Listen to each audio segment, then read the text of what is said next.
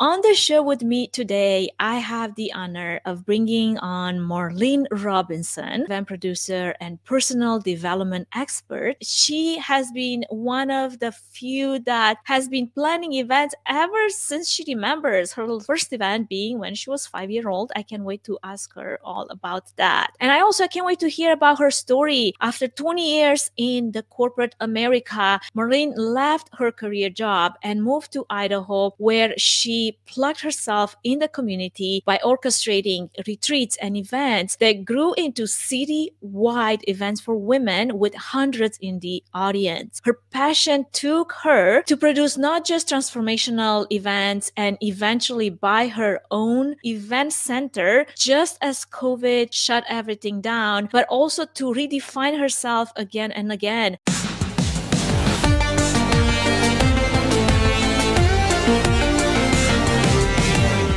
Welcome to Events Demystified podcast, where we explore and demystify the world of in person, virtual, hybrid event AV production and technology by sharing insightful tips, tricks, and tactics to make your events a success.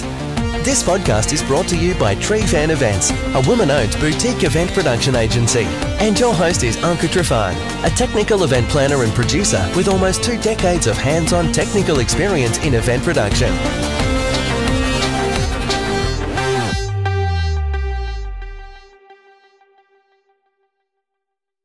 Welcome to another episode of Events Demystified podcast, your one stop shop for tangible, technical, and practical planning advice for anyone in the event industry. I am your host, Anca Trifan, and today's episode is brought to you by Trifan Events, a woman owned boutique production agency. On the show with me today, I have the honor of bringing on Marlene Robinson, more about how she pivoted and how literally made lemon lemonade out of lemons that she was served during that challenging time. We'll have to ask her and we'll have to talk about it because this is so fascinating. And I will also have all the links that you can learn more about Marlene in the episode notes. But before we even get there, without further ado, let's bring Marlene in to have a conversation about all things producing outstanding events.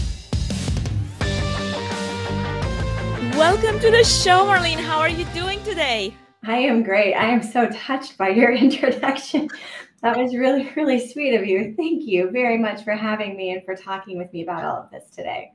I'm super excited to have you here. You know what, Marlene? We've been following each other for a little while. And to be honest, I feel like the first time uh, you came on my radar was during one of the podcast interviews. I don't know if it was necessarily a podcast or a live stream that you were doing a couple of years back, right at the onset, I think, of the pandemic. I was listening to you and I was so fascinated by your level of knowledge of event production and events in general. And I was like, I can't believe she's local. Like, I need to meet her. yeah, I think I felt the same thing when I learned of you. At first, when we connected on social media, I thought, there's no way she's in Boise. There's no way she's here locally. She's, you know, so savvy and so smart and has all of this amazing technical experience. She can't possibly be here. And then I found out you were local and I thought, wow, I can't wait to meet you in person. Well, I'm so happy that we finally got to actually, we did get to meet in person for everyone wondering.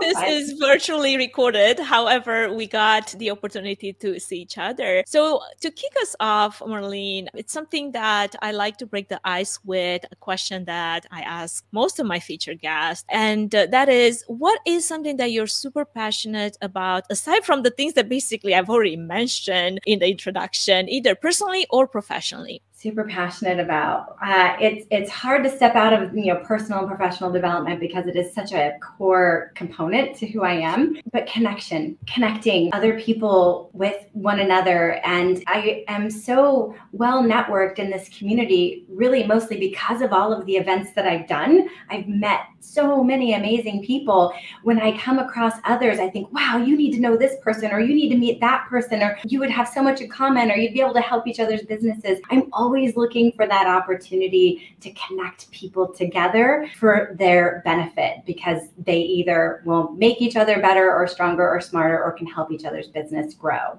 And Marlene, that is a talent, a skill that not a lot of people have. And I can testify to that. You are one of the best connectors that I know. And uh, it's so amazing to see that there is the potential for that. And a lot of the event planners that I feel like locally I've met, they operate from the opposite part of the equation, from more of a scarcity mindset. And to have someone that, like a like minded a person that shares the same principles and desire to connect other women and to make things happen together, to me, that's like, you know, music to my ears, basically. I wish I had a soundtrack right now to play so we can both, you know, jam on it.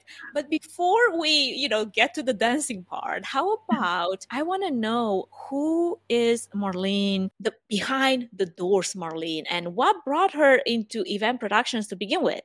So most people wouldn't know I'm actually I'm actually more of an introvert than an extrovert. I definitely need my downtime. I need my space in my comfortable home environment. I meditate every single day. I pray and read every single day. It centers me. It keeps me focused on my mission and my purpose in life. I find that if I miss any of my days of meditation or reading, I can tend to get distracted or spin my wheels a little bit. So it's it's a way I start my day. I've been doing it for almost 3 years now very consistently and it keeps me focused on living in my passion and living in my purpose, which I believe is connecting, uniting and promoting people, I have always had a gift and desire to put people on stage and give them a microphone to share the gift that they were given with an audience that needs to hear it. And truly, that has been the impetus for my, my wanting to do events. It wasn't because I wanted to put on an event and make money or sell tickets or entertain. It has always been very purpose driven in meeting amazing people who have a message that they need to share and gathering together the audience of people people who need to hear that message, that transformational message. I've always had a motto when I talk about events or events that I'll get involved in, and that is I will only get involved in events that transform my audience intellectually, spiritually, emotionally, or physically. I even guaranteed my ticket sales. If you came to an event that I produced and you left unchanged, I would give you your money back. That's phenomenal. I love that we have the same practice, morning practice routine, because that's the same thing that I do to, you know, get myself centered and start my day right. And on the days when I just happen to be super long days of events or who knows what, and I miss that, I feel it. Mm-hmm.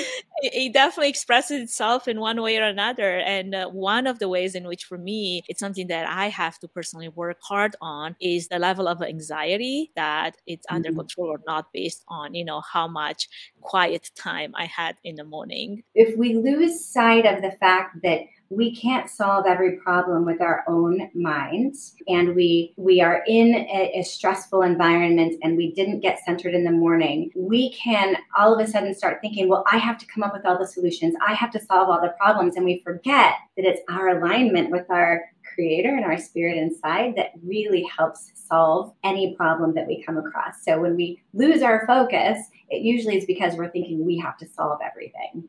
And it's always on our shoulders i yeah, I know what that feels like. So, piggybacking on the question, earlier question, I have this other question for you. How does a woman in event production advance and create a clear path for herself when there's a lot of obstacles that she must overcome? And just a little bit from your story, I would love to hear how you got where you are right now, knowing that, I mean, at the onset of the pandemic, you basically invested yourself into a venue that shut down the moment you purchase it? Pretty darn close. I, had been in business for I, almost half a year and maybe seven months, and I was just beginning to turn a profit. I invested in it, I renovated it, I refurbished it, I oh, I promoted it, and I was just sustaining myself on my savings, and I was just starting to turn a profit. My overhead was, you know, pretty significant there, and then oh, and then the pandemic hit and, and shut me down. So yeah, it was pretty devastating and difficult to get over. But to go to the beginning part of your question of um, how did I make my path into this industry, it's pretty unorthodox. I personally love unorthodox stories. So I'm going to get my coffee and let's go.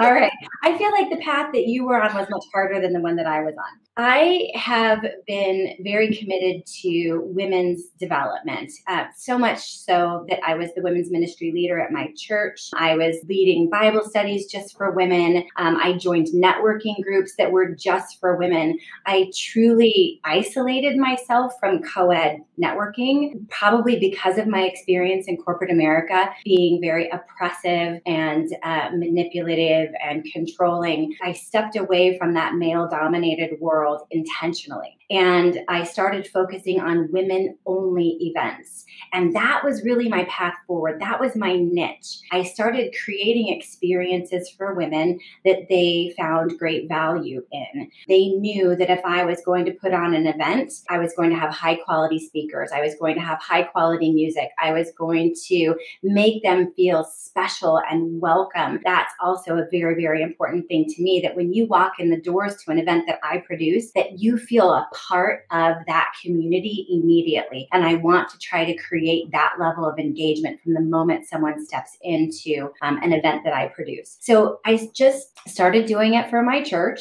And then I, on my own, rented out the botanical gardens because I had these three amazing speakers who just were life changing and had incredible messages of motivation and inspiration and hope. And then I found a killer band and I brought in a coffee cart and a wine and beer uh, vendor and I brought in a food truck. And it just was this incredible experience that started giving me this reputation for putting on these transformational events that were fun and engaging and value added. But it was at my own expense. So that was part of the difference is I wasn't being hired to do this. I was inspired to do this. And one of the most pivotal moments for me where I knew for sure that I had found my calling was at an, the event that I did at the Botanical Gardens. It was about two minutes before I was going to go on stage and introduce the band and the keynote speakers. And I looked out over the lawn. It was a beautiful summer evening, and there were about 250 women there, and they were talking talking and chatting and sharing food and wine and laughing. And I saw community being created. I saw connection happening at this very deep and meaningful level. And I felt so much peace and joy in that moment. And I realized this should probably be a moment where I'm a little stressed out or worried. Like I'm about to go on stage and introduce this whole thing and kick it off and make it happen. But there wasn't an ounce of stress or worry or fear. And I had this profound feeling that came over me that was this is what I was called to do. This is what I was put on this planet to do was to put people on stage to share a message and gather the audience that needs to hear it and create a very special life-changing experience for everyone. And it snowballed from there. And I rented out Boise Center on the Grove and I had an event for 500 women and I had five keynote speakers and a band and 48 female business owners and breakouts for yoga and meditation and healing. And then people started hiring me. So I created my own brand, I guess, by living into what it is I felt the world needed. And then people identified that as, yeah, I want to do that too. I have a message also. Can I hire you? So then they started hiring me to do their large scale events that would last three and four days and would have 15 different keynote speakers throughout the entire thing with VIP access and 38 volunteers and orchestrating the whole thing and the marketing campaign for it and the development of the messaging and coaching the speakers up onto the stage to share their message. It just flowed naturally from me because I was living into this thing that was my calling and my purpose. And it just grew to the point where there were so many events to be put on and so many great experiences that people needed to have that I had to rent out venue spaces that were expensive. And as you know, when your overhead costs are high, your ticket price is high. And because it's so important to me that people have access to valuable information and life transforming events, I decided the best way to get around that would be to buy my own event center, lower my ticket prices, create an opportunity for everybody to have access to these things for 10 or 15 dollars each and put incredible speakers and authors and coaches on stage to share their message. And it was happening. It was rolling and it was so exciting. And people could rent out the event center for weddings and parties also but I just wouldn't get involved with that. They just hand them the keys and teach them how to use the space. But then covid so I had to shift and really go inside myself to figure out what am I going to do with my life because I felt this was my calling and my purpose. Mm-hmm. And the message I received, the divine calling and inspiration I received was I've been spending so much time putting a microphone in front of other people's mouths and giving them a stage to share their message. It's time for me to share what it is I've learned and what I know inside of an environment that I'm very familiar with, and that is corporate America.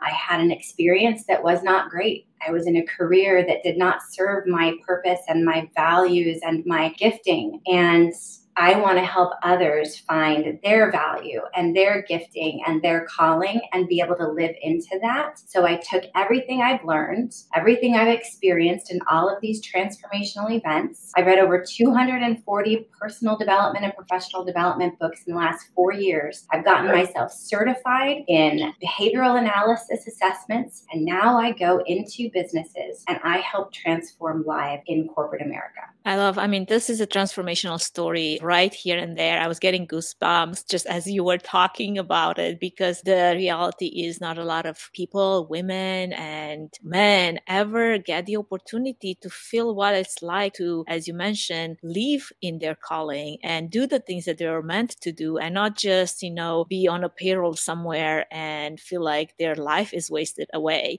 So here's one question because you mentioned just a little bit on your journey, you know, in the corporate America. What do you feel like has been one of the hardest obstacles or limitations to overcome on this journey of rediscovering yourself post corporate America? That's a really good question, and it's a tough question. I was an expert at what I did, and I was very, very good. I was very well paid at the work that I did in corporate America. I was a what's called a category analyst. I dealt with analytics of consumer behavior, and I created stories utilizing data and analysis to help manufacturers of consumer goods understand how to sell more of their consumer goods to the people who wanted to buy them. And when I left that, I was no longer an expert at anything. I no longer had a highly valued skill. I didn't have a secure paycheck or health insurance or retirement or 401k that comes with the security of a corporate job. So that was a big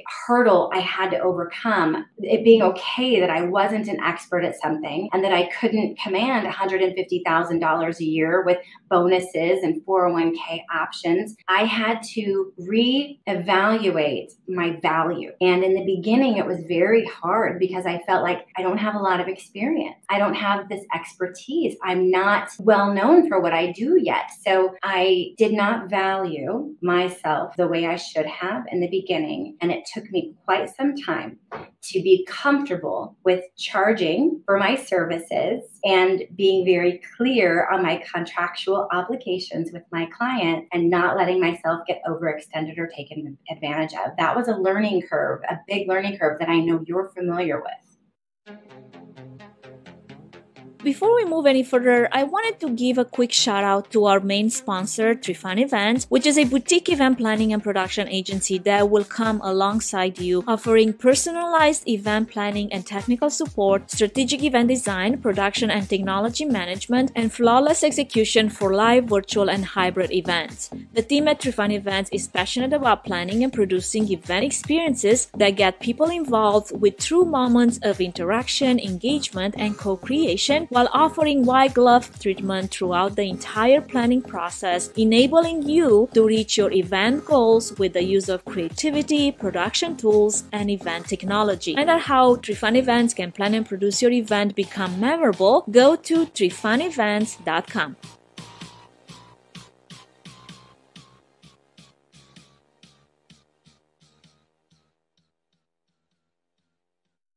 I feel like a lot of women that probably are listening right now can identify with that because in so many ways, each one of us have had to stand for ourselves in those ways, set our own boundaries and struggle basically through the same things, uh, regardless of the industry or the position or whatever career of choice we're in. Yeah definitely. And i think it's a you know it's a cultural thing too. For some reason you know women don't get paid as much as men. Even if we have the same education and the same skill set there's this thing in our world that says we can't make as much money as men.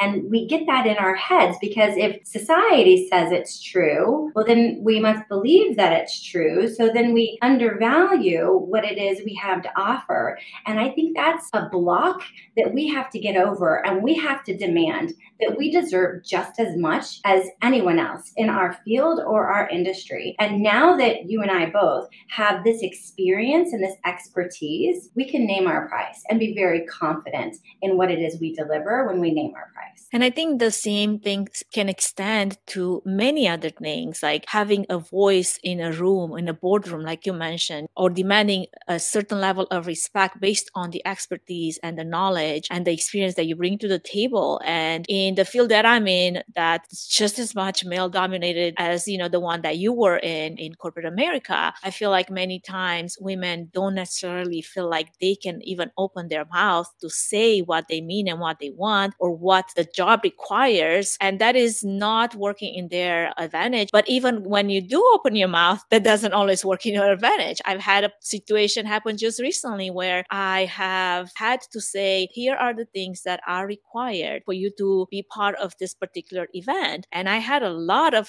backlash, attitude, and behavioral like aggressiveness shown just because I required it as part of the job, which was already part of the contract. And I was like, this is surprising. If any other person in my position that would have been, you know, of a different gender would have asked you the same thing, you have not even bat a lash. But here we are, like having this conversation like it's some sort of like unheard ask that you've never had to deal with before. And it felt disrespectful in the sense that I can come into a room and I can have a set of expectations, and that could be the same set of expectation that any other person in my position has. But if I'm the female, I have more resistance that is, you know, perceived as where you're too demanding or who knows, like whatever, put a label on the things that you've had to fight for maybe in your career, in your your life and you know that there's always going to be a bit of resistance. And that's where i'm always thinking if we could be on the same plane and this cultural expectation would not be over our heads so much anymore how much more could we accomplish in a lifetime?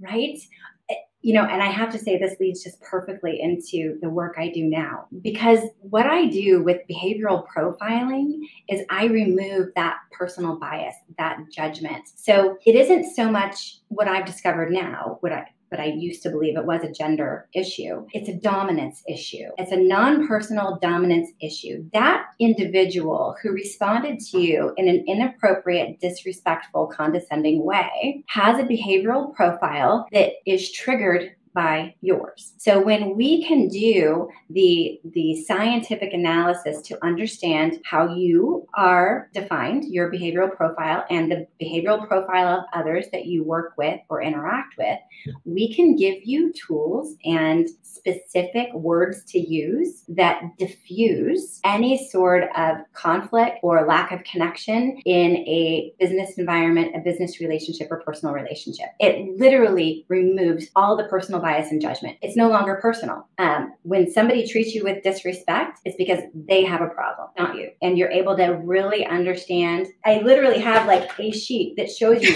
how to communicate with each of the personality styles. We need to post this somewhere, Marlene. You have to give me the resource so I can put it somewhere because I'm sure there's many other women in a male dominated world where they feel like they don't always have the allies to support them in their mission and their careers and whatever projects they're working in. Yeah, it definitely because we are taught as women to be more submissive, to be less commanding and less demanding, to have a quieter tone of voice. And when we show up in our full power, men are put off and they don't understand how to interact with it, especially if they're older men, because they're not part of our new generation of women having all of the same power and authority that men have. So we do have to have like a little grace and give them permission to like come along and catch up with the times. But when we can use words and language that diffuse their initial resistance, resistant to our power and authority, it helps us connect better and lead better. We can lead anyone if we know how it is they need to be communicated with. And this is the work that I do. I get I love that every day. I love it. So how do you feel now that you've gone through this entire journey and post COVID? How do you feel that you are positioned after months of persevering basically and being so resilient to find a new revenue stream for yourself because obviously that was you know a, big part of having to support yourself and a journey of rediscovery of what are other things that you're passionate about because events were not happening. How do you feel you are positioned now to take advantage of this new and disrupted in a way meetings events landscape that we're basically facing right now I love that question. Thank you. It's it's a very interesting evolution that I've gone through and I feel like everything I've been through, everything I've done has prepared me for this moment in time. It's all like this building and learning and I'm reaching this almost pinnacle of I feel so capable and qualified to go and do the work I do. So while I'm not doing large scale events, but what I'm doing now is more intimate. It's in smaller groups. I'm doing it inside of the corporate environment. I'm doing it with teams and with individuals, even. And I'm working with coaches who are bringing me into their clients to help them accelerate their work. So, to a degree, I am still doing events. I'm doing workshops. I'm doing all kinds of workshops and seminars and public speaking with smaller groups. And I'm not the one producing it. I'm the one being invited in to teach and train. So it's the other side of the microphone that I get to be on now, which is really exciting because I feel like I know how to create an incredible experience for the audience and really add value to what it is they're going to take away from the day um, spent with me or hours spent with me. I love that. Now, on that, piggybacking on your on the workshops that you've been doing, I know that you've also created the Expert's Guide to Producing Outstanding Events, which is an online training curriculum to help people do events better. And this has also morphed into Boise Business Broadcasting. Can you tell us more about that? And as a teaser, maybe share a couple of tips or suggestions for producing outstanding events. Yes, yes. So I, I wrote the Expert's Guide to Producing Outstanding Events at the beginning of of 2020. And it was because I was transferring into, you know, running my own event center. So I couldn't be hired to do big, large scale events. But I knew that people needed the information, they needed the expertise and the understanding on how to do it. So I thought, I'm going to create a training course. I invested 90 hours of my life. There are probably, I don't know, three hours worth of video trainings, downloadable worksheets and tools, timeline developer, marketing programs, how to train your team, how to build your message how to rehearse, how to execute AV. But now I should rewrite that after I learn more from you. But I, and all I, the virtual events and virtual technology and all the hybrid production that now we're dealing with, right? yeah, so that'd be like a whole nother level of information to add into it. But one thing I learned was, and you probably know this too, when you tell people what it takes to put on a really great large scale event, they kind of start to just gloss over and like get nervous and say, oh, no, no, no, I don't want to do that. I don't want to do I'm just going to hire you to do it.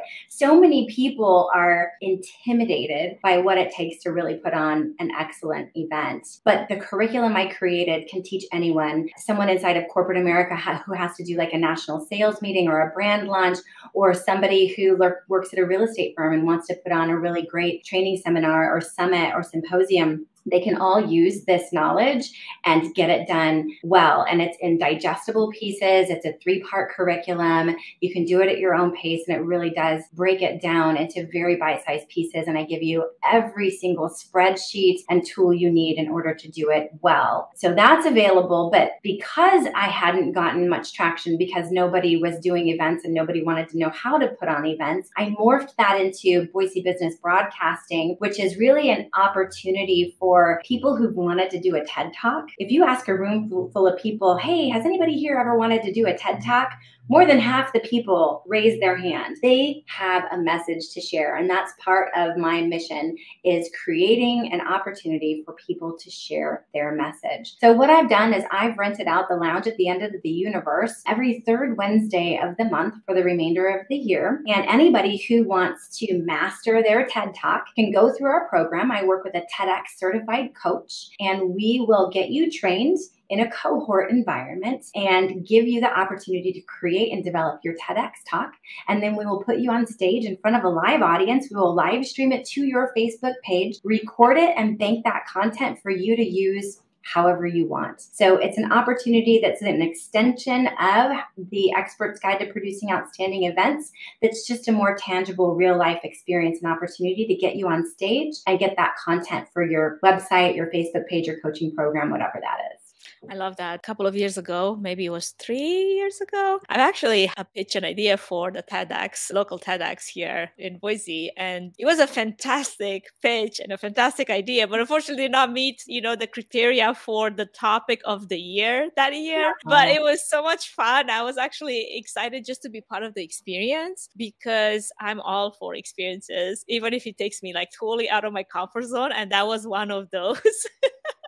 That is so cool. Yeah, we're working with one of those coaches. Her name is Kirsten Holmberg. Yep. And I was uh, following her tips and guidelines as well. So I'm glad that you have her because she's amazing what she does. And maybe I'll come up with another idea soon. Who knows?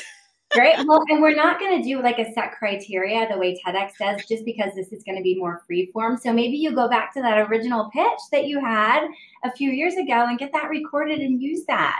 Okay, Marlene, this was a fantastic conversation so far. Thank you for sharing so much of your learned wisdom. I have a last topic that I want to touch on just a little bit here, and maybe a last piece of advice or anything that you like to share for any other event professionals, event planners, producers out there that are attempting to make a comeback and need a little bit of event strategy or life coaching strategy to how to do that well. Um, okay, so we're still living in a time where there are people who are somewhat concerned about gathering in large numbers. And if you can get yourself plugged into an organization or a group of individuals that isn't going to have a lot of restrictions and regulation on that gathering, it's going to make your job a little bit easier. But the basics having hand sanitizer available, options of masks for people who feel more comfortable, having appropriate spacing and seating, and all of that, and, and helping people understand that they do have options and that they, they will be respected if they want to keep their distance that's one thing that I just really want to say. It is still important to a lot of people that we do that and we keep that top of mind. But I would say I've got two main pieces of advice that I have always given to every client. And some of us already know it, some of us, you know, it's obvious, but I'm going to say it anyway because to some people it's not.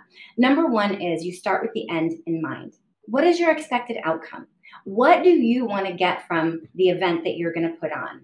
Do you want people to buy something? Do you want people to join something? Do you want people to simply walk away with information and tools to help their business grow? Whatever that is, that end result you are looking for, define it very, very clearly and build your plan backwards. Because if you work all of your details to meet your end goal, you're going to be more successful and effective in producing a really valuable um, and cohesive event. So know the end, have the start with the end in mind. What do you want your guests saying and thinking when they leave? What are they going to go home and tell their family about what it was they just experienced? So that's number one. Number two is no solo gigs. And that means although you might have an incredible message to share and you're brilliant and experienced and wise beyond all measure, when you do a solo performance, presentation, speech, keynote, and there are no other speakers on that stage, your odds of impacting every single person in that room are reduced compared to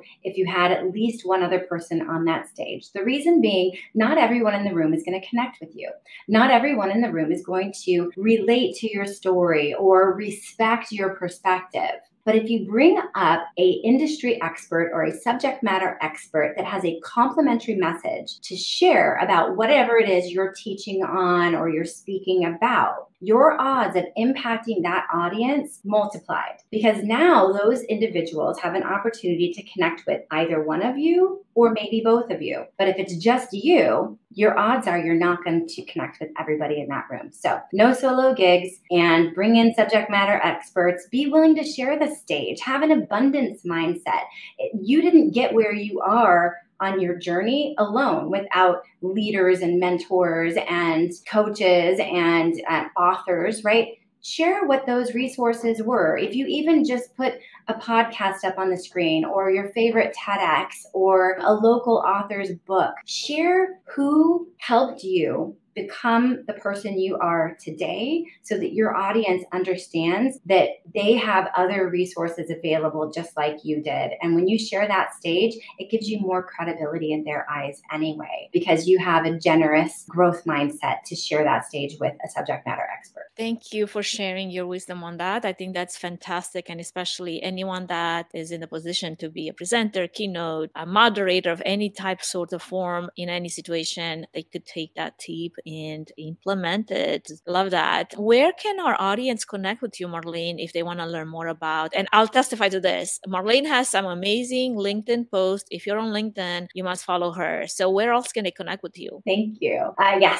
So social media, um, just Facebook and LinkedIn. I'm not really present on Instagram. My website, um, migenterprises.com. That's M-I-I-G, just like in the logo below my name. Also, uh, Black River Performance Management. So that's where I am a partner, and it's www.blackriverpm.com. And so I'm a consultant, trainer, and coach and partner there at that firm. And that's where I'm doing the majority of my keynotes and workshops and training. But you can always find me at MIG Enterprises. That'll be a forever thing I'm plugged into. I love it. Okay, friends, this is it for today's episode. I'm so happy that we got to do this, Marlene. Thank you so much for everyone that's been listening so far. Make sure you check out the episode notes because we got a special gift from Marlene 10 tips for producing outstanding events that you can download and implement just as we speak. And stay tuned for our next episode airing out soon. Thank you.